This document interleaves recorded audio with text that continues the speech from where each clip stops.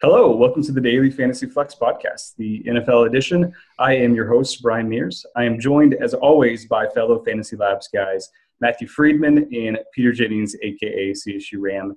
88, it is week 15, and our special guest this week is David Kitchen. Uh, you might know him as Soccer Dave around the industry. He's currently the creative director at RotoGrinders. Dave, how you doing, man? Doing good. That corporate life title, creative director, I, I like it. Yeah, yeah, it's solid, solid. Uh, Pete, how you doing, man? How was week 14 for you? Uh, not my best week, but uh, ready to go to Miami to speculate on Bale, Levitan, and BA running the mile. And oh. uh, there's no cues this week, so hopefully I can hold on to whatever money I have left. Hmm. yeah. I'm so tilted I don't get to see that in person. Yeah, what are we doing, Peter? Are we, are we like uh, periscoping it? Yeah, we actually have a professional crew coming out to film it. It'll be on my Periscope, and um, I'll announce it. Hopefully, we get a photo finish. I think Bales is basically dead, and Levitan BA will be pushing hard. How many live people will be at this event? I don't know. Hopefully, just the four of us. We're hoping that there's not people there. Oh gosh! All right, that'll be interesting. All right, um, Freedman, how are you doing, man? Solid. Great. You know, Star Wars comes out this week, so uh, got that to look forward to. And otherwise, just uh, grinding down the clock, ready for this season to end. I hear you. All right, well, let's jump into week 15. Uh, we have an interesting week. We have two Saturday games. Uh, so Broncos Colts is on Thursday night. Then the Saturday games this week are Bears Lions and Chargers Chiefs. Uh, Sunday night games, Cowboys Raiders, not on either DraftKings or FanDuel main slate this week. And then Monday night, Falcons at Buccaneers. So somewhat of an abbreviated slate with the Saturday games and uh, no Sunday on, on, either main slate. So uh, we're going to stick primarily to uh, the Sunday main slate. Of course, uh, we'll probably venture out just a little bit with our prop bets. But let's dive right in, guys. Let's start with our usual segment. As always, real or fake. I'm going to go around ask these guys to give me a real trend um, from either week 14 or just the whole year is fine as well. Um, that will continue this season and one fake trend. Uh, Freedman, I will start with you. So, something that I think is real Tom Brady struggling on the road in the second half of the season, especially against teams who are familiar with him and the Patriots. And so, this would apply most obviously to teams in the AFC East uh, but it also applies to other teams who the Patriots would play periodically, uh, and that's the Steelers this week. Uh, they've played the Patriots twice within the uh, the last like year and two months. Uh, played them in the playoffs. Played them last year, I think, in Week Eight or Week Nine. So this is something that we see commonly with quarterbacks struggling within division or opponents that they play against on the road or in the second half of the season. but Brady used to be fine with this trend. He basically had uh, like an agnostic split with this trend, but as he's gotten older, more routinely uh, has he struggled against teams on the road in the second half of the season, specifically again teams that he's had a lot of experience with, or who I should say have had experience with him. So this is a spot against the Steelers this week where I don't like I never feel comfortable predicting like a, a Brady like catastrophe or anything like that, but it's not a great spot for him. And especially uh, with Joe Haden coming back for the Steelers, it could be a spot where he struggles. Something that I think is fake is uh, the Broncos defense looking as good as it was last week. Not that I think they are bad. I, I just don't think that they are um, good enough to shut out even the Jets. Uh, so I will be curious to see. I, like, I'm not going to watch Thursday Night Football this week. I'm going to see Star Wars, but I will be curious to see how the uh, the Raiders, not the Raiders, uh, the Broncos actually do against the Colts this week on Thursday Night Football. Colts at home on that fast track. I could see it being a nice spot for them to bounce back. Nice. So you have opening night tickets. Yes, of course. Awesome, awesome. Uh, Dave, what are some trends that are sticking out to you? Uh, so I definitely think that the the one that is real is just how amazing Russell Wilson is. Like even last week with some bad throws, the fact that they were taking shots deep, uh, and the fact that he still got there after kind of a, a rough game, just from a raw fantasy points uh, projection. Like he just, it's we haven't seen this in a while. Like we haven't seen this since like Cam Newton maybe three years ago, uh, where you've got someone who is just so dangerous. There's no running game at all right there it, right now in Seattle. So it's uh, it's really tough to not play Russ. And I saw that the line uh, already has moved two points in favor of Seattle this week. So that's going to be the real thing. The the fake thing is going to be like um, how do I say this? Veteran players who don't work out in other places or who are locker room problems going to the Patriots and smashing. That is good, not going to be the case with Kenny Britt. I do not see this working out with Kenny Britt he that guy is just one big pile of mush and uh, just he's not going to be like Randy Moss 2.0.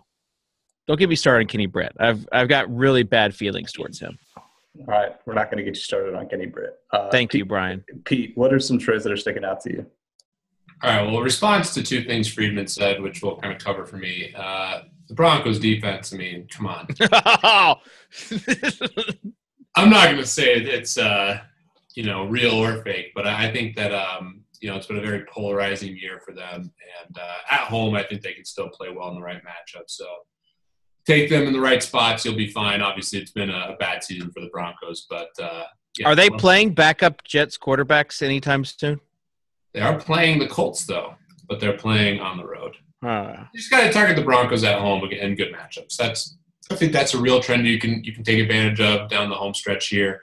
Uh, I haven't actually looked at their schedule, so I'm not sure if that comes to fruition again. But uh, for next year, I do think that they'll be a really viable defense uh, again, like they were the last couple of years. This year has just been atrocious with the offense play. But um, one thing I think is uh, very awesome and unrelated to football at all that uh, Freedman and I share is the nerdiness for Harry Potter and Star Wars and that trend is very, very real. That is something that is going to stay true. Freedman, we're going to be nerding out on that stuff when we're 60 years old, right? Oh, definitely. So that that trend that trend is real. I just uh, want to say that I made a, I made a joke about Fitz Magic being a Fitz Muggle, and only Freedman caught it. So I'm I'm questioning your nerdiness about Harry Potter. If you want to if you want to do a quiz offline, I'm, I'm, not saying I'm not saying that I'm Freedman, but uh, I went to Harry Potter parties uh, to get the book uh, at midnight. I also ordered like the second and third copy from England, which came out a lot earlier than the American versions. Okay. Uh, That was my, my, my, my, parents were involved in that, and my sister as well, but pretty big Harry Potter nerd. Um, yeah. Uh, in terms of, go ahead. The real question is, what is your wand made out of? Uh, That's personal, right?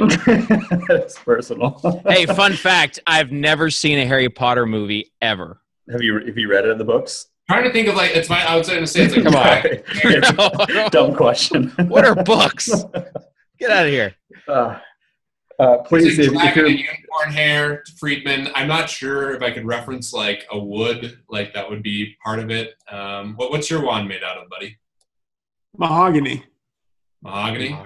Yeah, Freedman, you have a wand from like Orlando, like, right?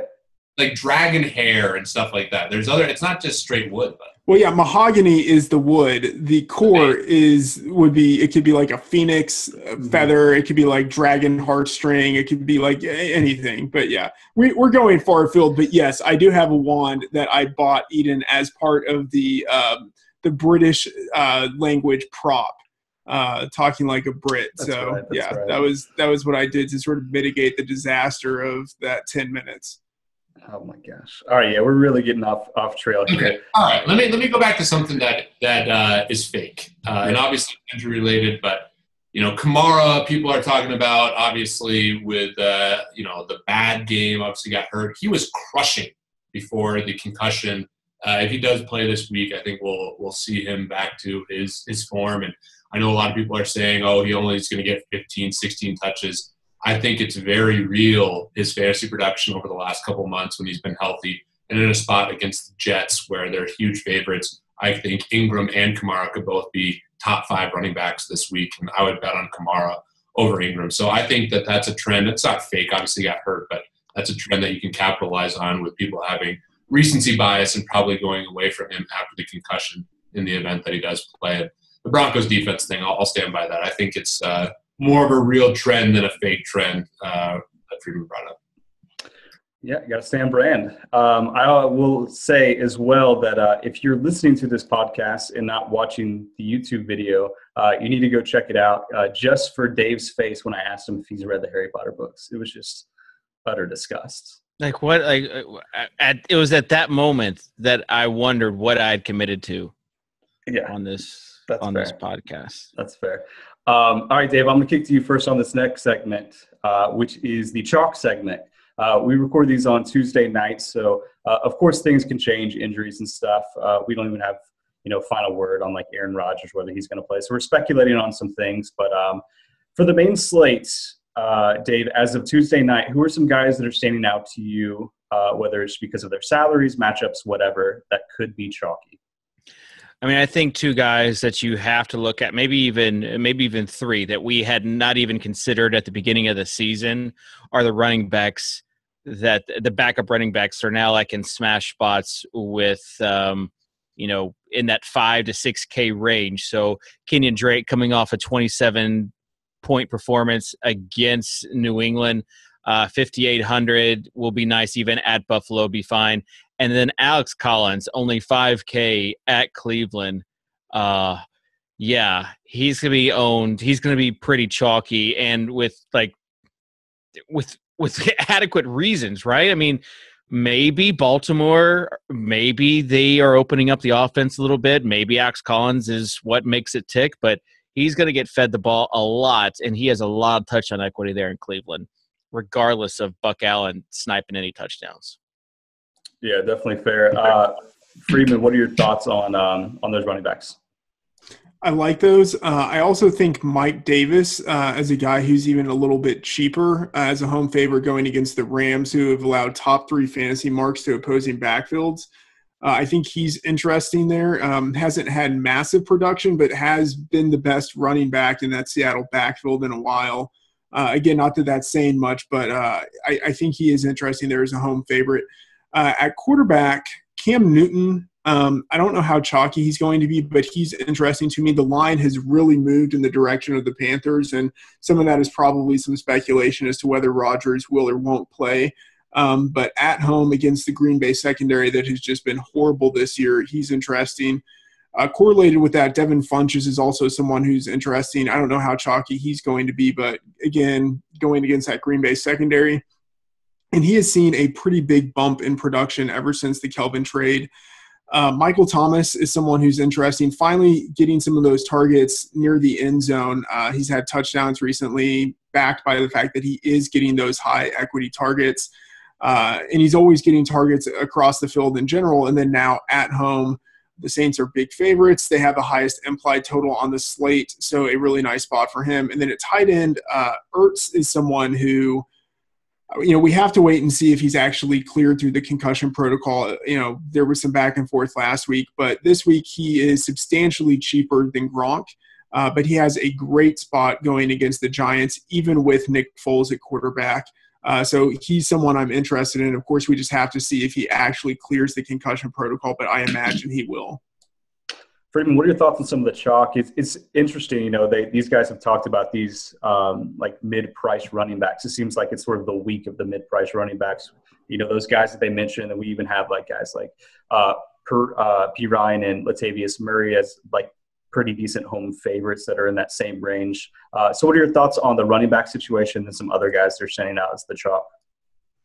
Yeah, um, the the guys that uh, Kitchen mentioned there, uh, I, am down with both of those guys.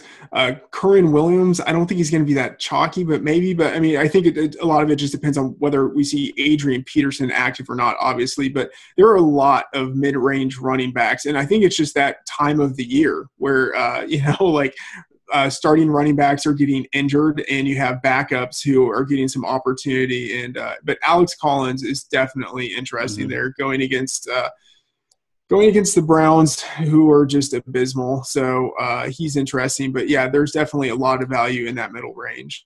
Yeah, Pete, hop in here. What are some uh, chalk guys that are standing out to you earlier in the week? like I said, I mean, I, I, think Kenyan Drake will end up being the chalkiest of all these running backs. I think, um, you know, assuming Damien Williams is out, Drake will be by far the most heavily owned running back. I believe he's 5,800. You know, he's been playing amazing going against this Bills team that since they've got rid of Marcell Dareus has really been a sieve against the run. Frank Gore, obviously in the snow, uh, you know, I think he had 400 carries. So, um, yeah, they're, they're, they're struggling. They knew the run was coming they couldn't stop Frank Gore. Uh, I think that Drake will be shocked, especially after everyone saw him play well on Monday Night Football versus the Patriots. Russell Wilson, I mean, there's a guy that you know we just talked about. I know he has a bad history versus the Rams. So I'm curious your your guys' opinions on him. There's also a trend here at Fantasy Labs quarterbacks in the second game within the division normally play poorly, but Russell Wilson, you know, the last couple months is accounting for more offense than any quarterback ever has, and uh, you know, the, the total's already moved up uh, for the Seahawks up to 25. They're now a favorite, and he's just been dominating. He's going to be the MVP, especially after the Wentz injury, and I expect him to be pretty shocked, and I think he's a great option. And then you have the killer beats. Uh, right now, there's not a ton of value on the slate, but I still expect Antonio Brown and Le'Veon Bell to be pretty chalky, and uh, fortunately, we finally have them on the main slate. So, yeah, it's a tough week in terms of trying to find the value, but those are some guys that I definitely am really interested here on Tuesday night. Yeah, finally get the uh, the Steelers back on the main slate. I think it's been what like five weeks or so. Too long, man. Yeah, too freaking long. Yeah, so it'll be nice to have Bell and uh, and Brown and those guys. Um, all right, let's talk about some of the uh, chalky fades or leverage or pivot plays. Uh, Freedman, I'll start with you. Uh, you know, for fades, honestly, I'm horrible when it comes to projecting stuff like that. So I'm going to leave that a little bit more to, to Pete and to Kitchen. But I, I would talk about some of the pivot play slash guys who probably shouldn't be owned, but I would own them anyway. Uh, Marcus Mariota is someone who has been absolutely horrible this year. Oh. Like just uh, like a, a like I mean, act like a travesty, but he has a really nice matchup against the 49ers, which I feel like is the ultimate trap, but he will have no ownership. And the 49ers, they like give it up to every, like TJ Yates looked like a starting quarterback last week against the 49ers. Their secondary has just been absolutely decimated. They're missing both of their starting safeties. Their two veteran cornerbacks are two of the worst guys in the league in terms of PFF grades. And then they have like rookies uh, manning the other spots in the secondary. Like it is bad back there. Uh, so if there ever is a spot for Mariota to do it, I think it could be here uh, the big thing for me is the matchup and the lack of ownership. Um, I'm going to sound horrible saying Jordy Nelson, but this is like with Rodgers back, assuming Rodgers is back. I still think people will be interested in fading him just because he's been so horrible for the last two months and he just experienced a pretty big salary hike. Uh, so he would be someone I'd be interested in. But uh, one more guy, Cooper Kupp, who's been good recently, but really hasn't had ownership and no one really wants to roster a uh, a road dog, especially in Seattle. But that Seattle defense is substantially hobbled.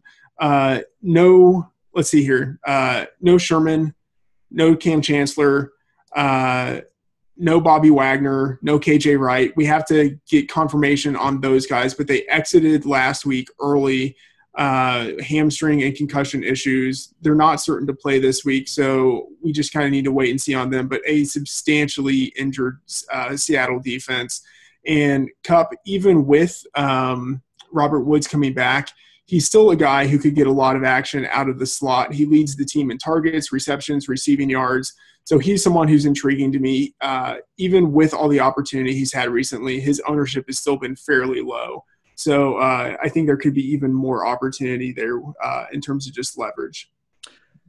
Kitchen, I'll kick to you next. What are your thoughts on some chalky phase and leverage or pivot plays? And then uh, also got to get your uh, your thoughts on Mariota call because you uh, you gave an explanation. Oh, yeah, let me start with that because uh, you know I'm I'm based in Nashville. I'm I, I try to keep my Titans uh, homerism not as bad as Pete's Broncos homerism. So the thing with Mariota is it's not like you say like if there's any spot well he's had plenty of spots this season you look at what he did against the colts the Texans, the Browns when they just had field goals. Like uh, he has had multiple spots where he could have he could have been okay. Part of the problem is, and now people are kind of catching up on this. Terry Robiskie, the offensive coordinator, Mike Mularkey, have just done a huge disservice to what he can do on the field. Uh, you saw people like Rich Eisen tweeting it out. I thought, like, wow, if Rich Eisen's tweeting it out, but they're just wasting his talents, what he is able to do with this vanilla style offense, and it is terrible. And when you are in multiple spots, they're the worst eight and five team in the league. Um, and uh, just their offense has been non existent. They still try to keep running the ball when they don't need to. So that's all that's all I'll say about that.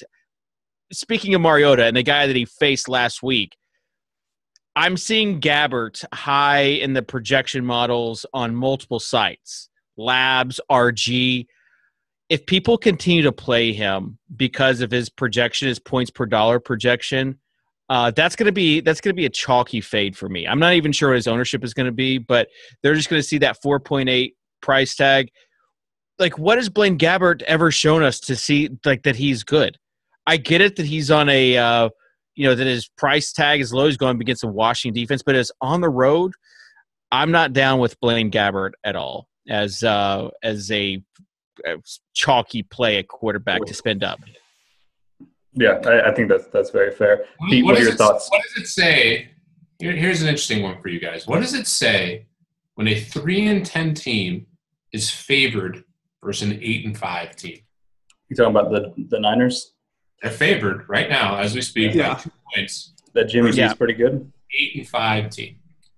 And it's, I don't even like the I don't even like the Niners in this spot because Tennessee, their style of play has been so gross. They just it's like the defense hasn't been bad except for that one game against the Steelers, but their offense, it's just it's a slow style of play for fantasy purposes. I don't like it, and I don't blame Vegas for favoriting the Niners at all what what I would say is it, it uh, probably indicates a couple of things. One, that the uh, the team with more losses is at home, which is the case. Two, that there's been some sort of change at the quarterback position, which makes the team substantially different, and that's also the case. But as a company man, I would say that uh, there was a uh, an article on.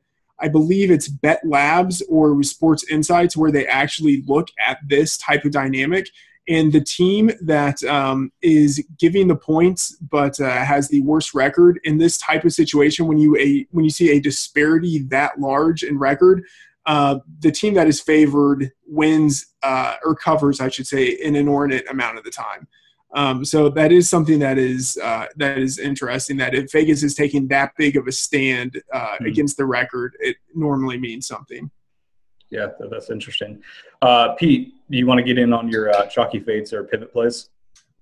I mean, it's so tough. I mean, you know, I talked about Russ as the chalk. You know, if you want to buy the narrative, uh, or not even the narrative, but just the, the data that you have on him versus the Rams, maybe that's something that you could fade. Feels pretty pretty thin to me, uh, given that he's at home here and how good he's been uh, this year. I thought he was a, a good fade last week against Jacksonville and was looking – we're feeling good about that after the first half, and then he was unbelievable in garbage time. So uh, I'm probably not going to be doing that. Um, you know, if you want to fade some of these running backs, uh, I don't hate the Alex Collins fade. I mean, I know he looked really, really good, but the Browns this year have been a lot better against the run than they have versus the pass. So could be a wacko for Flacco week if you wanted to fade Collins and you know play one of the receivers there. Wouldn't hate that, but uh, you know, Maclin's been a kind of a bust all year, and Mike Wallace has been, you know, discouraging to own most of the weeks this year as well. So that's a tricky spot. Um, you know, outside of that, it's really tough. I mean, this Patriots uh, Steelers game should be awesome. Tons of fantasy goodness, uh, really high total, but everyone's so expensive in this game. So yeah. I wouldn't hate the idea of fading some of the expensive guys with the lack of value, but that could really come back to bite you, especially with the Killer Bees and all the Patriots guys uh, and their implied total of 28. So it's a struggle. I mean, right now it's hard to identify some chalk that I, would feel comfortable fading. All right, let's keep on moving. Let's go to the section on uh, conventional stacks. Uh, Freedman, I'll kick back to you. We'll keep on going around the board. Who are some of the conventional stacks that you're considering for week 15? Well, one thing that's interesting, and I, guess it makes sense, but we haven't really talked about uh, Roethlisberger as someone who would be really chalky. Um, and I get it given the matchup, um, but still, even if you um, even if you take into account what they have done recently, the Patriots haven't been all that great uh, against quarterbacks. Uh, or like decent quarterbacks. They've still allowed a, a, pretty good amount of production to opposing passers. And right now, you have Roethlisberger at home, um, where he's the best home quarterback, you know, like maybe like in the history of the league, uh, with one of the best wide receivers. Uh, you know, a guy who is, I think, a legitimate MVP candidate, although he won't win the MVP. Um, I'm interested in a Roethlisberger Antonio Brown stack, and I, don't know how. I mean, I think it's conventional, but I don't know how owned that will be um, because of the cost. But then also, I think people will potentially be more on the Patriots than on the Steelers in this game in terms of stacking. So uh, that would be a stack that I'm interested in. Um, and then uh, let me see here. Oh yeah, Brees at home to uh, to Michael Thomas or Kamara. Um, I'm interested in both of those stacks.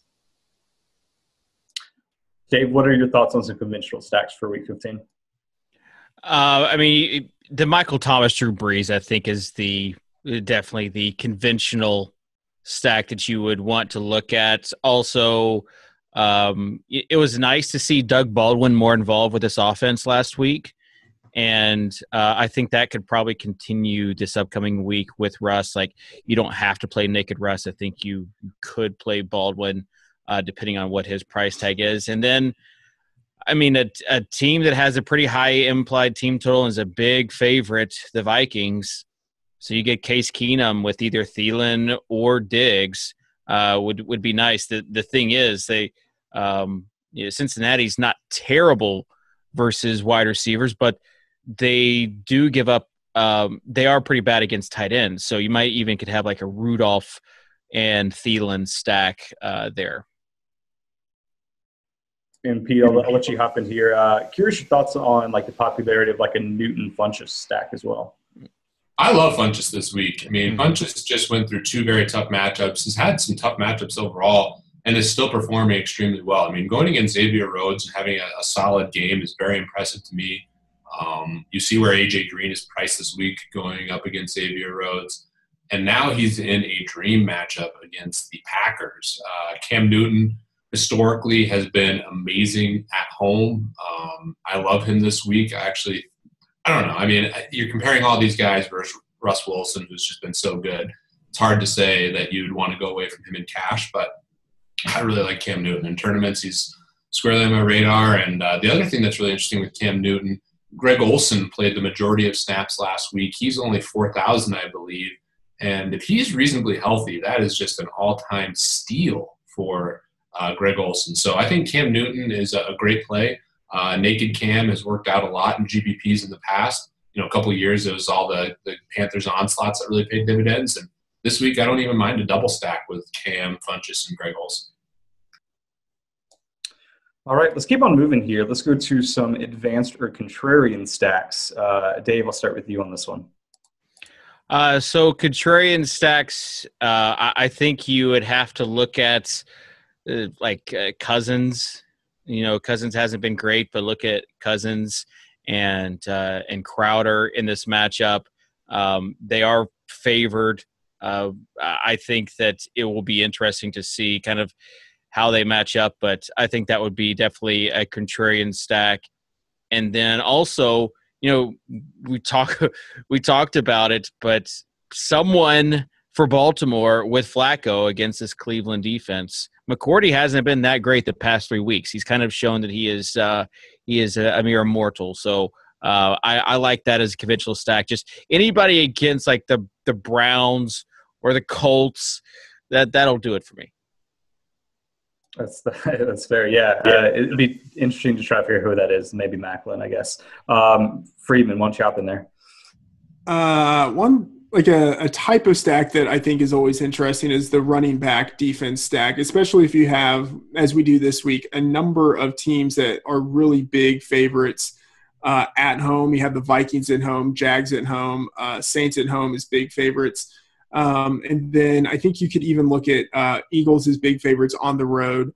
Uh, pairing any of their running backs uh, with the defense, I think, could be good. And I, especially like I would go with the um, the Eagles because I think some people will be fading them because of the uh, the Wentz injury, but they have a nice matchup against the Giants. Um, favored by seven and a half points, so that defense could uh, could have some opportunities to get some sacks, some interceptions, defensive touchdowns, and then the Giants have allowed uh, top three fantasy points to opposing backfields, so a good spot for the runners uh, for the Eagles. So I could see that being something that is uh, fairly under-owned, especially given the the Wentz injury.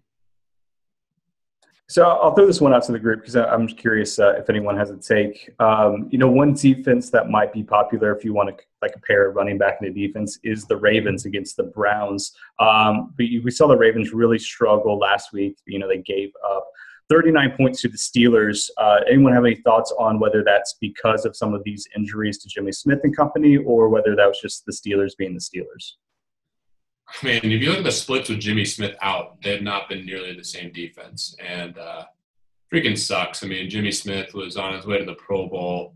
Obviously, I always have a lot of empathy for uh, a ruptured Achilles. Freaking worst injury. We saw Kayvon Webster suffer the same thing for the Rams. Um, just sucks. Um, I still think this Ravens defense is solid across the board, but it's not nearly the same without their best corner. Um, you know, the nice thing for them this week is they're facing the Browns, but Browns have better weapons now. Coleman and uh, Josh Gordon are extremely good weapons. Duke Johnson. So Kizer's obviously been inefficient and awful at times, but has shown some flashes. And now that he has the best weapons at home versus Baltimore, I mean, I don't hate it. Uh, there's defense I like too a lot more than Baltimore this week, but um, they're still in play. And, you know, I think, I don't know. I, I like Josh Gordon and Corey Coleman, even though the Browns are implied right now for 16.25 points. Yeah, that's fair. Um, did I hit on everyone for contrarian stacks, or did I miss somebody? We got it.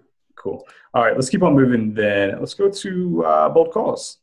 Um, Pete, I'll start with you.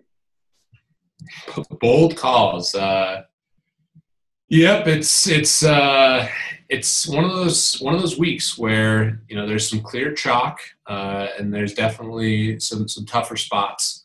Um, I'll say in terms of a bold call, go to Tyrell Williams, uh, Tyrell the Gazelle, uh, friend of the podcast, Al Zeidenfeld, loves to throw up the dancing uh, gazelle or the, the prancing gazelle when he uh, scores a long touchdown. Against this Chiefs team, they've been giving up big passing plays all year. I'll say he's a, a good GPP play. I think Keenan Allen and Philip Rivers obviously make a lot of sense as well if you're playing that Saturday slate, but I'll throw up Tyrell the Gazelle for another long touchdown as a uh, bold call. Awesome. Dave, what about you? What are some bold calls that you have for uh, week 15? Yeah, uh, I would look at Alshon Jeffery kind of being a uh, a great play. You just look at what he did last week. It Foles, his yards per attempt were outrageous. Uh, I think that comes down just a little, but against this giant secondary, I think Alshon Jeffery is in a great spot, and the the numbers might not indicate it, but uh, I really like him this week. I already mentioned Doug Baldwin as well. And uh, as far as the other bold calls, let me get on like some Jerick McKinnon GPP love uh, for a team that's favored by 11. You know, they might be able to do it, might not be Latavius Murray all day, every day. And uh, we know Jerick McKinnon is just uh, more than a human. He's he's basically LaDainian, LaDainian Tomlinson. If you go to player profiler and get a look at his comp, that's his comp there. Give him a freaking hole and watch him go through there. So give me uh, Jerick McKinnon as like a the ultimate GPP play. That spark uh, score, yeah, for sure. Freedman, uh, what are some bold calls? So I think one game we haven't mentioned yet is uh, Bears at the Lions, and it makes sense. It's just kind of a nasty game and two uninteresting teams in general. But uh, I mean, the Bears aren't good, but with Trubisky, I think they've been a little undervalued in the spread market. Uh, so the Lions are so inconsistent, but they often play down to the level of their competition. And uh, the line has started to move in the direction of the Bears. Uh, opened six and a half favorites, around five and a half. Uh, I'm picking the Bears to win outright by a touchdown uh, as they control the ball with the running game. And then in terms of a uh, a bold DFS call, this is correlated with with Kitchen's Alshon call. I'm going with Nick Foles. Uh, I think for one week he plays like Carson Wentz uh, and uh, just absolutely destroys the Giants defense. Uh, if you remove his one Jeff Fisher tainted season, he's actually had a pretty good career. And I think even if you adjust that down a little bit with uh, inflation from his one outlier season as a starter uh, in uh, in Philadelphia with Chip Kelly, I think he still has some pretty good numbers there. So I think he might not be uh, as horrible as a backup as people uh, are anticipating. Yeah, it's hard to tell which is the outlier, the Jeff Fisher or the the good starts. It's uh, up in the air right now. Um, so yeah, that, that brings me to one more thing I did want to discuss before we hit our prop bets, which just to spend a, a minute or two talking about the Philly situation. Uh, obviously, Carson Wentz out for the year. Um, so Philly's interesting. It's not like they were like the most pass heavy team in the league anyway. They ranked uh, 26 in the league as of right now, uh, passing on 54.3% of their plays. Pete, um, let's just sort of talk about this situation for a little bit. Like, do you expect the Eagles to be a similar sort of team in like their breakdown of run pass? Do you think maybe they'll uh, give a little more work to uh, the guy they acquired in the in the trade in Jay Ajayi, or what are you expecting from the Eagles moving forward? Well, shout out to Smiz again. We got two Smiz shout outs here in the pod. He referenced them as the ABCs. You got Ajayi, Blount, and Clement uh, that have been splitting work, so it's been hard to target one of them in uh, you know DFS. But in terms of how the Eagles play, I mean, Foles has significant arm talent. The biggest difference between Foles and Wentz is Foles' mobility and ability to extend plays. So in that regard, I don't know what to anticipate, but he does have good arm talent. We saw him play extremely well uh, when he was under Chip Kelly. So I don't know what they're going to do. I mean, you you know, people would say, okay, let's ha- let's rely more on the run game. Let's play good defense, which the Eagles have been doing all year, even with a ton of injuries. But uh, I still think he's going to throw a decent bit. I like Dave bringing up Alshon Jeffery. Hopefully, Ertz will get back here sooner rather than later. Nelson Agholor has really kind of come into his own this year. So Torrey Smith in the field as well. Uh, Foles has arm talent. The the big thing is can he you know extend plays at all? And um, you know obviously Wentz I thought was right there with Wilson for the MVP. It was a devastating injury, but uh, the Eagles still have a chance to be pretty good. I think. Uh, Dave, what, what are your thoughts on Ajayi specifically? You know, he's in that same sort of like mid-tier range. Obviously, probably not the same amount of equity as like Alex Collins and some of these guys. They're going to be popular in cash games. Um, but I did write in our market share report this week that uh, you know Ajayi was losing snaps to, to Blount um, Clement early uh, when he first got acquired by Philly. But uh, in week 14, he did get the most snaps, and then last week, uh, sort of like convincingly the most snaps. So uh, it could be uh, a situation where he's trending up to be the main guy, or maybe it was just an outlier. But what are your thoughts on him in the running back situation? Yeah, Boys, I mean, real, quick, real quick, I think Aaron Rodgers has just been cleared to play. oh boy! There we go. Perfect placing timing. those placing those Vegas bets because a lot of people saw that uh, saw that line and just assumed he was not playing. Yeah, it seemed it seemed fishy. We're going yeah. right now. See if we can get some uh, the Packers here at plus six. That would be nice. Pete's on the move. Um, as far as Ajayi, I think that it's always it's always tough when there's three running backs in the fold, right? Like even with New England, like now I am like deathly afraid. I, am in the semifinals on two teams with Rex Burkhead. I'm deathly afraid of playing Rex Burkhead just because there's two other guys and he he did not see a, a good percentage of the snaps last week it's tough when uh, you are like uh, you know an Ameer Abdullah type back where you're not exactly the touchdown back and you're not exactly the air yards back, and I think that might be the case with Ajayi. So uh, I think he'd be like a good GPP play, but I'm not depending on him for for anything um, like certain. this this week or, or upcoming. It's like one of those wait and see approaches to see Yeah. if he gets any more of the market share. Yeah, that, that's definitely fair. Definitely wait and see. Um, but he is interesting, I think, GPP play if you're you know making a lot of lineups, maybe a percent here or there. Um, all right, so, it's off the board. I just saw it and I was Yeah. going in and it's off the yeah, board. I checked it a second ago Oh. too. I got it. You got it? Yeah, I got it. Oh, damn. All right. You Um. My bookie. Wow. he was quick, quick on the draw. Yeah, Freedman hasn't been talking for a couple minutes, so that was why he's Yeah. getting that active. Uh, Um, I, I should say, adding on to this, uh, Jay Ajayi has been remarkably efficient uh, with the with the Eagles, and that was the one thing about his his production with the Dolphins. He was just horribly inefficient this year, and now he is almost around seven yards per carry. And granted, it's not on a huge number of rushes per game, but it's at this point uh, 44 attempts. Uh, and really, each game, uh, he's been pretty good. So, uh, something to, to monitor. If they really decide to feed him, and if he can continue, I mean, obviously that that uh, seven yards per carry that's unsustainable. But if he can continue to produce at an efficient rate, that would be something really intriguing because the Eagles do like to run the ball. That's fair. Um, all right, so let's just spend a couple minutes as well on this Green Bay situation. Freedman, I'm curious your thoughts on um, what the wide receiver situation is going to look like in Green Bay. You know, like Jordy has always been the guy that you want with Aaron Rodgers, but this year has been, um, you know, Davante Adams. Like he's one of only a few guys that has over a 30% market share over the last little bit. Like he's clearly the number one wide receiver in Green Bay with Brett Hundley. The question is, is was it going to look like with Aaron Rodgers back in the fold?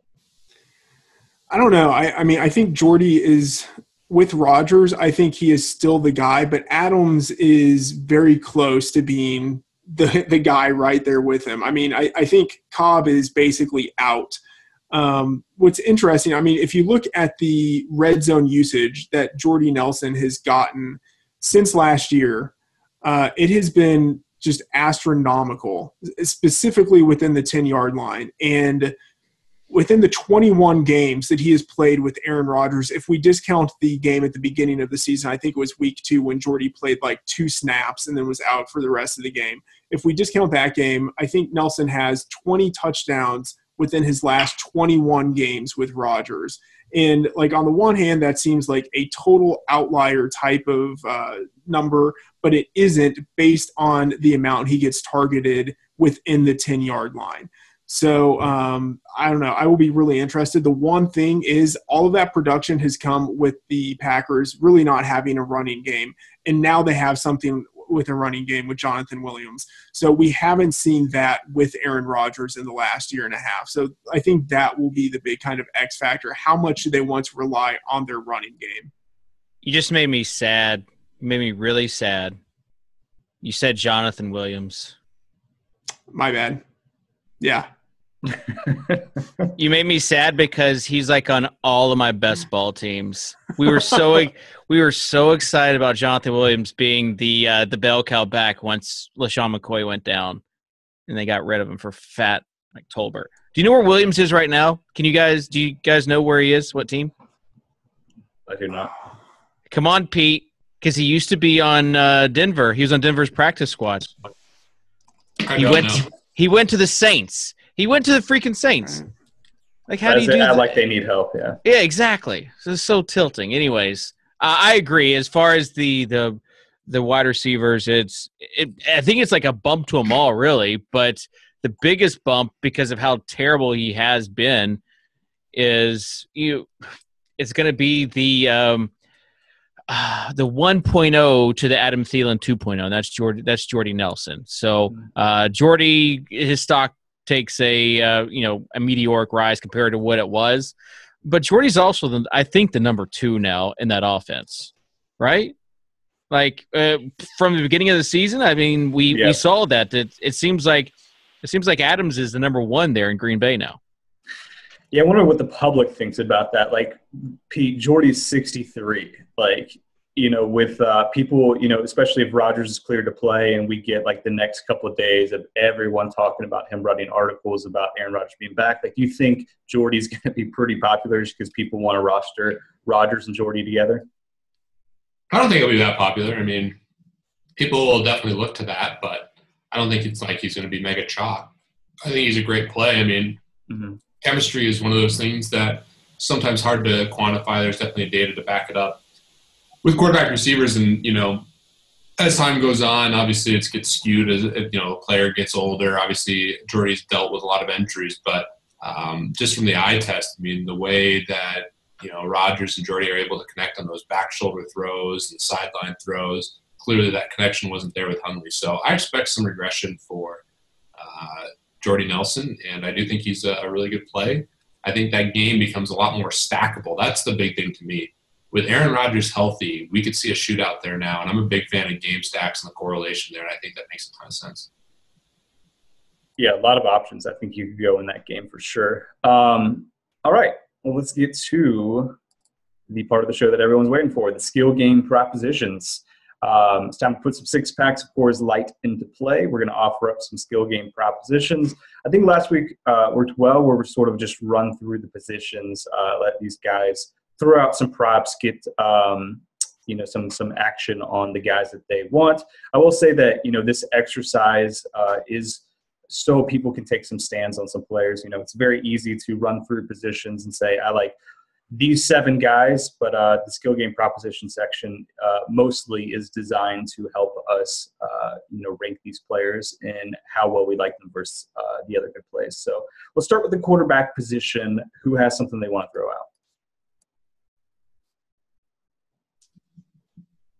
I'll take Kamara if he plays for someone. I guess that's a tough prop to make initially. At the quarterback position. oh, classic Rammy. Oh, donkey! I'll take uh, Cam Newton versus the projection, or what else do you guys? What else do you think we should do? Uh, I mean, I'm I'm on Cam Newton. You know, like I mentioned him as one of my kind of chalky locks. So uh, yeah, I'll you're gonna have to be bold on... for me to be under Cam. Yeah. They've been at 21.1 right now, DraftKings points. So, so if, if we set a line of Cam plus two points against Russ, what would you, what side would you guys be on? Oh, Russ all day, every day. Would, any, would anyone take the Cam points? Give me, uh, give me. Right now, we have twenty-one point one versus twenty-three point three. I'll take, uh, I'll take Cam plus two points, Dave. Okay, cool. I'll, I'll take the plus two points as well. I'll take Russ on that. Nice, nice. A two v two. I like it. All right. Getting some volume from Bryan. That's good. Love that. I'm getting in early, Pete. good. Solid. Love that. One other guy that I'm uh, a little interested in this week that I think is a little contrarian is Blake Bortles uh, points. My only concern with Blake Bortles is only one concern. There's multitude of concerns. My biggest concern in terms of his ceiling is the game flow. But I do like Bortles a lot in this spot. All right, it's eighteen point one. You want the over? I'll take the under. Sure, done. Yeah, give me the under on that too. Oh, I think a good prop bet is uh, is Pete likes Bortles, and at just two hundred more, Freeman likes Mariota. What are their point projections here? Like, you have to scroll way down for Mariota. A, a, a point and a half. See, I'll do that straight up with you. I actually like Mariota them more than we have him projected for right now. Yeah, uh, I mean, I think I'm giving up too much equity on that, but I mean, whatever. I'll, Mariota whatever. versus Bortles, that you're giving you're too much Marcus equity. Mariota versus Blake Bortles. Like, if I would have told you that at the beginning of the year, you would have been jizzing your pants. And Mariota's against yeah, the Niners. But, yeah, yeah, but it's not the beginning of the year and like we have him projected for you know where where he's projected. I think we're probably a little low on him, but whatever. Yeah, I'll do it. Here, I want uh the under on Brady, which is like famous last words. Um, I'll give you the over because you just gave me some equity. I'll do it. Okay, twenty two is the line. If anyone else wants it on that, I'll take the over as well. Okay. Angry Brady narrative. Yeah, it's coming off a loss. Yeah. Smash City, baby. Getting Gronk back, I think, is going to be pretty big too. He's pretty good. Yeah, not bad. Getting okay. Hogan back too was good. Was good for him last last week as well. So Hogan and Gronk should be okay for this upcoming week. Um, Yeah. I'll I'll take the under on Jimmy Garoppolo this week if anybody wants that. And he's I feel like Labs has him projected kind of low, but I'll um Mhm. I'll still take the under. Take the under. It's at eighteen point eight, I think. Uh, let's see. We have 18.6. I'll take the over there. I'll, I'll give you over too. Just give Yeah. you some action. I knew I could find some suckers on that one. Yeah, you got us. you got us. Um, what are you guys' thoughts? Exact same projection. Aaron Rodgers, Ben Roethlisberger. Almost exact same price. Almost exact same projection. Oh man, we're we're gonna have to look more at that Rodgers projection, but um, Yeah, I mean, it, it just popped into the model, so we're we're so we're working with it. But it's a good good chance to like fit Rodgers into like our conversation of quarterbacks. Like he's six eight, so he's the third highest priced guy. Like, where would you guys put him in that? Um, you know, like Russell is obviously more expensive, but then we have like Brees and Roethlisberger and Cam right below him. I think I'd go Roethlisberger. Uh, you know, I think Roethlisberger has a better matchup. Uh, Rodgers just coming off of the injury issue, going against a Carolina defense that is pretty good against the pass. Uh, I think I'd go with Roethlisberger. Pete, would you have Roethlisberger over Rodgers? I'll take Rod. Ah, it's tough, right? I'd say Rodgers for sure. Yeah, it's tough. Yeah, Rodgers coming off the injury. I'll take Roethlisberger actually. Yeah, I'll take Roethlisberger as well. At home to Roethlisberger's been so good. Yeah, that's an interesting one. Um, okay, any last quarterback ones before we get to uh, all of the action Pete wants on Kamara? All right, Pete, go for it. Yeah, I want Kamara versus basically everyone other than Le'Veon Bell. I do Kamara versus Le'Veon Bell if I get a lot of points, whatever the projection is. It would be five points. All right, so um, I'll I'll give you three hundred bucks and go Gurley straight up over Kamara this week. Kamara. Kamara, yeah, I would say Kamara, and I've gotten correct on that. I know it's like the it's the, it's the Mariota and Kamara, and we always say it backwards. Mm, But yeah, I'll go uh, Gurley over straight up. Kamara if, if if you think he's the the smash spot other than Love Bell. Obviously, if Kamara misses, the it's a void. Sure. Because normally, I mean, he said he's going to play. It's a Sure. player Yeah, yeah, yeah, would. yeah, sure. All right, but if Yeah, he I mean, if he plays a snap, of that. if he What's that? plays his snap, it counts. Like if he starts the game, it counts. Yeah, if he plays Yeah. any snap, Yeah, it's good. yeah, If he comes Yeah. out afterwards, like I mean, it's a concussion. It's not like something else. Sure, I'll give up some equity and go Kamara versus Gurley, even though I think Gurley's a safer play, uh, especially in terms of median projection. Yeah, I um Yeah, I lost I lost a bet to Silva and uh, Sammy Reed last week, and I was on Mike Davis, and I was really tilted because he had that long run or long pass where it was a legal man downfield, and then he got knocked out, and I feel like he could have came back in, but whatever. Um, I think it was Freedman that mentioned him earlier, but I would agree with like most sites having him as the highest points per dollar running back. If anybody wanted anybody over him, or maybe I could give you. Uh, no, I'm not going to give anyone two options. But if anyone wanted like a higher price per dollar over him, I would take it. I would take Mike Davis. Like a So higher you- price per like higher plus minus Yeah, or so, something. so you got Collins, Drake, Perine, uh, those guys, Hmm. Geo. Yeah, for twelve point two. Well, yeah, we've never done a plus minus prop. I like it though. You got to think value wise. So it's like a cash game.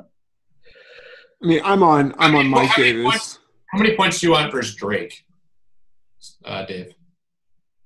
Uh, I mean, I'm pretty high on Drake. It's 4.4 right now, so I, it would take like five points for Drake. But that, but if you had, but if you had that, that would like put him in the same conversation as points per dollar. Let's do it. It's easier to quantify on the. Uh, I mean, I guess we can go through the plus minus, but it's easier to quantify with just a straight difference in projection. Yeah. We'll do Uh, five. five points. Yeah. Okay, I'll take the it. guest, so you, we just have to do whatever you say. So you should just clean up here, Dave. Nice. Give it, give it to me. Dave, so you were high on McKinnon. I'll give you Or uh, that either of you guys, by the way, if you want in on that. Dave, Dave gets the guest bump with uh, the extra half point, uh, half point there. But if you guys want it, uh, I'll do Drake minus four and a half points versus uh, Mike Davis. Nah, I'm I'm I'm good. good. But I, I want to rewind just for a second. Uh, and Pete, so you want uh, Kamara? I will take. Let me see. Can I take just like a number of backs, like get some volume, and just go further down this this deficit that I'm in? Sure, take some volume. I mean, I don't want to go against like uh, Gur- You said I mean, anyone Gurley- but Le'Veon. Sure, I guess I have to go against Gurley, even though I'm giving up a point and a half. Just go ahead. Yeah, but I mean, your guy has a higher salary. Yeah. Go ahead, buddy. Go ahead. Fire off some names. Okay. I'm going. I'm going with Gurley. I'll go with Ingram. Um, I'll go with McCoy. I'll go. I'll go uh, with Fournette. All right, four of them left right there. Interesting. Um, Dave, you, you said that you really liked uh, Jerick McKinnon. I'll take uh, Perine against him, exact same price. Oh yeah, I would take Perine against him too. As a GPP play, like I would t- like Perine. Uh, people probably forget uh, that there's like literally no one else other than P- he's like last man standing there in Washington right now. yeah, He's Yeah, gonna be he- very chalky, but yes, yeah. I'm not that gets- much Yeah, much of a fish. Give me, give me, you got to give me something. Well, and on, on the topic there of Perine, Washington's fill-in number two running back is now on IR. So That's what I'm saying. Yeah, he's yeah. the last man standing. Yeah, really, he is Was the last Byron- guy. uh, Byron Marshall. He was the uh, Yeah, the Oregon goat. Remember Pete with um, uh, uh, De'Anthony Thomas. It's the other Of guy. course. Oh, and and and Mariota. What a what a trio that was. and finally back at home as a home favorite. So it seems like Perine's in a really nice spot. Yeah, that's that's fair. I thought I was thought I was going to get you on that one on your McKinnon love, but uh, you were Yeah. you were too sharp for me. Nice try, Um, Bryan. You want to do two points? Sure. All right. Why not? I gotta. I mean, I gotta withhold the fish status that I already have. So why not? Any other running back props you guys want? Keep moving. All right, let's go to wide receivers then. What are you guys' thoughts? Throw out some props. Um, I I like Michael Thomas more than most probably this week.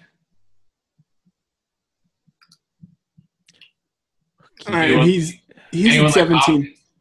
He's at seventeen point three. I mean, I I like him too, but I'll I'll give you some action. I'll take the under. All right. Yeah, I'll take the under as well. Perfect. I'll also I'll also go. Uh, D- I mentioned Doug Baldwin, so I'll go him over Funchess. There's a it's a hundred dollar difference. If you guys want Funchess, I feel like that's a pretty generous one. Yeah, that's that's is generous. I would take that. I don't know that it's that generous. I'll take. I, I Uh, like it. I love you, Dave, but I don't know about that. I mean, Webster's out now. yeah, We have Funchess 16.3 versus 15.8. I guess it's generous. I'll take Funchess. I'll take Funchess. Sorry, Dave. I, I, I with uh, Yeah, Punch is just so clear the wide receiver one in Green Bay or in, in, against Green Bay, whereas Baldwin has been a little up and down as far as his targets go. I like the Baldwin call a lot though this week. Soccer Dave. Yeah, yeah, yeah. He's solid. Um, keep on going, guys. Let's. So I'm interested in your thoughts on DeAndre Hopkins. Um, going against the that. under. You want the under? Yeah, going against Jacksonville, super tough matchup. Um, but uh, yeah, I mean that target volume. I don't know if I have a side on this either way. Um, but Pete, if you want the under, I'll, I'll take the over. I think the under is probably the sharp side. I'll take the under for sure.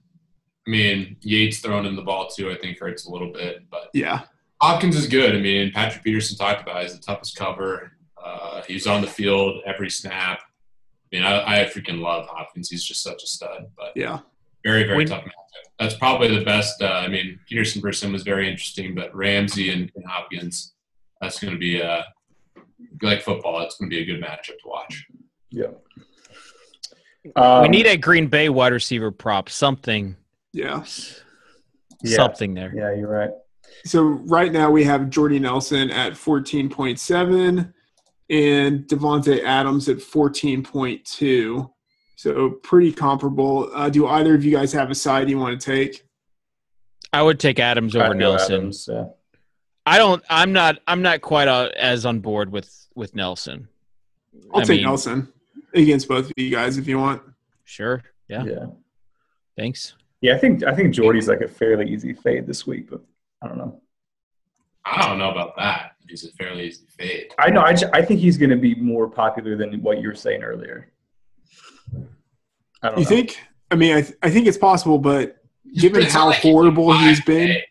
Like, look, the thing is, Yeah. like, look price. Like, that's why I don't think he's going to be that popular. I mean, Yeah, but people are going to be like, he's like supposed to be 8K with Rodgers. Like people are just going to remember the good old days with him and Rodgers and think that his struggles have just been because of Hundley. You know. All right, so this is this. Uh, in addition to the prop that we just did, this is another prop. What do you think his ownership will be, Bryan? What do you think his ownership will be? Um, I would guess double digits. Okay, um, like ten or closer to like 15, Twelve percent. 12 Cash or GPPs? GPPs. Yeah. I I would say probably under twelve percent. Yeah, I'm gonna take the under there. Pete, you want to take the under? sure, I'll take the under for sure. Yeah, I could be wrong. Well, if you're right, then you just boned Yeah. all of us. Hey Bryan, Yeah, you're wrong. but I, I believe it honestly at this point. can I can I book a bet against myself? Um, let's see here. was that uh, was that Super Troopers? I just lost a bet to myself. right. Gotta love Farva. Oh man. Um, let's see here. Any other last wide receiver ones we want to do here? Yeah, we have Antonio for 21.2. Uh, I'm curious as to what your thoughts are, if anyone wants to take the over or the under on him. No thoughts there. I'll take the over if you want to like get. I'll give you whatever action you want, Freedman. Uh, Bryan, you said you want the over. Yeah, I'll take the over. All right, I'll take the under. He's been really good lately. Why Yeah. not? Yeah, he's he's like the best wide receiver of all time, basically behind Jerry Rice. So Yeah. yeah, Don't probably mind can't go wrong. Yeah. Uh, not. I'm not really looking for a prop here, but just curious your thoughts. Um, what are your guys' thoughts on Josh Gordon? I'll I'd take the shot. over. We we have him at fourteen point three. I'll take the over. I want the over too. Yeah, I don't think we've talked about him. You know, obviously he got the price bump from five five. He's six eight um, this week. But you know, if we think the Baltimore defense is not quite as good as without Jimmy Smith, like maybe an interesting spot here for him again. I also like that Corey Coleman's on the other side. I don't think you can Mhm. just heavily favor Josh Gordon and just take him away. Um, obviously, Kizer, like we talked about, isn't. You know, he's not going to be efficient. He's not going to you know play unbelievable football for the whole game, but he shows flashes. He had a couple good passes to Gordon. Yeah, and and the nice thing too is he's so athletic. He can buy time. So I think that he's, uh, you know, I think the situation for Gordon, you know, historically or not historically, but this year you haven't really wanted to take anyone versus the Ravens. We saw last week that this defense is uh, not quite the same without Jimmy Smith. And uh, I like I like Cleveland at home here, even with a 16 point total. I I like Josh Gordon. Yeah, I like it. He's uh, gotten in. I mean, it's only a two game sample, so you have to take it, uh, you know, in a, in a sort of tentative manner. But uh, an inordinately high market share of the air yards. He is just getting targeted uh, consistently and deep, like high high Mhm. equity targets. So I, I like it. That's fair. All right, run out of time here, so let's quickly go through tight end and defense. Uh, start with tight end. Who wants to throw out a prop? I guess we can start with like a Gronk or sort of thing. Well, I mean, I think Gronk clearly over Ertz, but uh, I'll I'll take the over on the Ertz. We have him at twelve point seven. If anyone wants the under, Mm.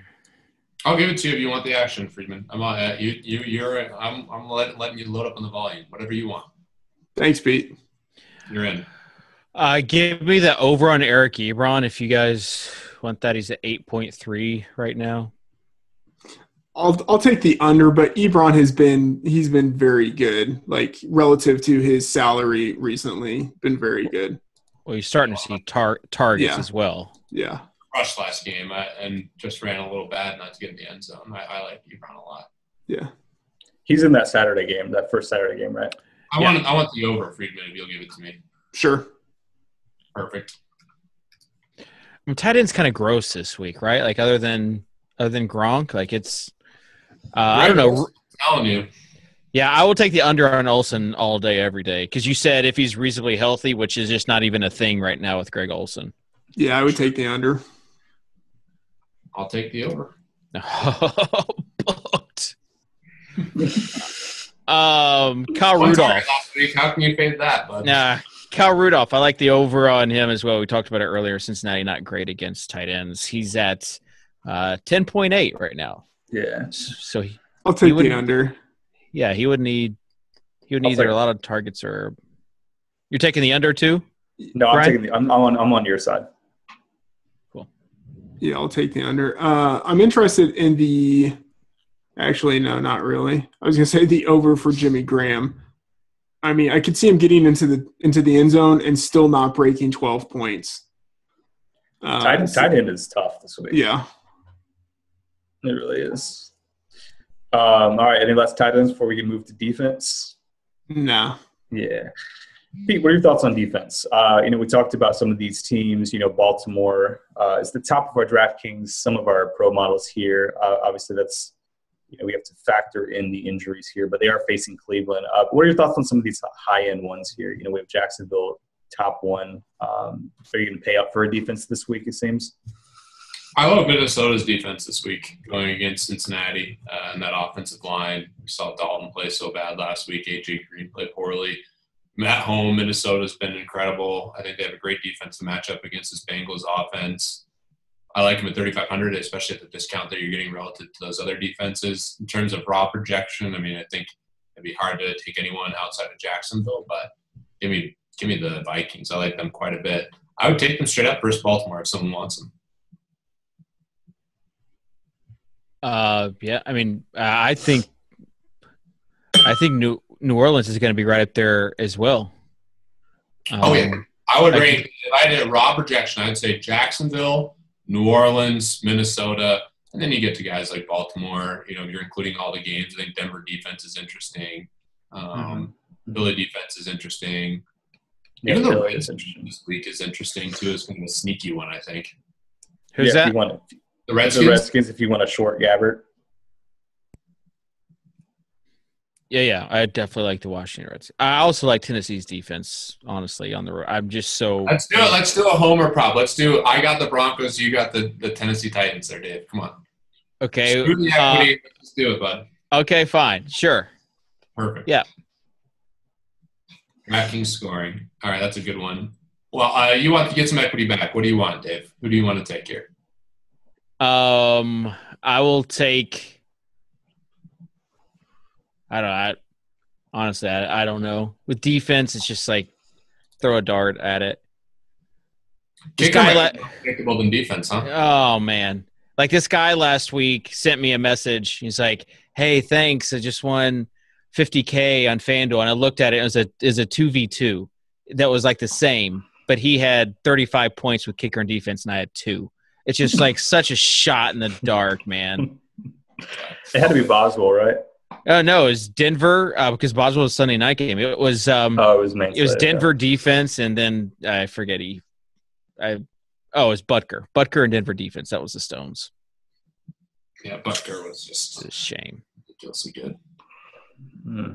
Maybe we need to, ba- uh, Freedman. We need to start bringing back the, the kicker analysis to the pod. No. This is what the people want, apparently. It's uh it's too early uh in the Too week. I, I might mention Cairo Oh. Santos. I thought you meant too early in the season. Yeah, we still got a couple weeks till we get to kickers. Yeah. Yeah, I saved my kicker hot takes for the playoffs. Yeah, that's fair. All right, any last any last props you guys want to get in? No. Fun. We got we got Dave the legend on the pod, which is which is awesome. Dave, any uh any final words from you, man? How's corporate life?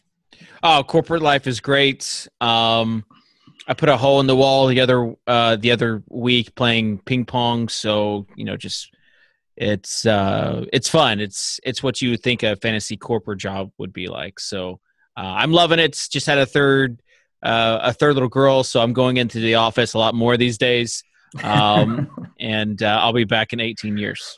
All right. Any any advice for the listeners out there? Three Yeah. girls. What's the key? What's the key to being a good dad and keeping? Oh, his family It's uh, it's like dance moves, man. Like dance parties. Like all, all my friends with like boys, like yeah, I just played catch. Like, oh, I just had a nice dance party. Like it's just being able to tap into, uh, you know, to your sensitive side, to your your feminine side, You're good too. yeah, That's- yeah, yeah. I'm good at that. It's like I've got so much uh, femininity that uh, it just makes me like a great girl dad. So, um, yeah, that that's the that's a secret right there, and uh, just just loving those girls as much as you can.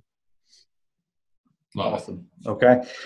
We are going to end it there. Thank you, Dave, for coming on. Uh, you can find him on Twitter at Soccer Dave, which is S O C R Dave. Thanks for coming on, Dave. Uh, good luck this week, guys. Uh, hope to see FantasyLabs, guys, at the top of the leaderboard, and we will talk to you again next week for week 16.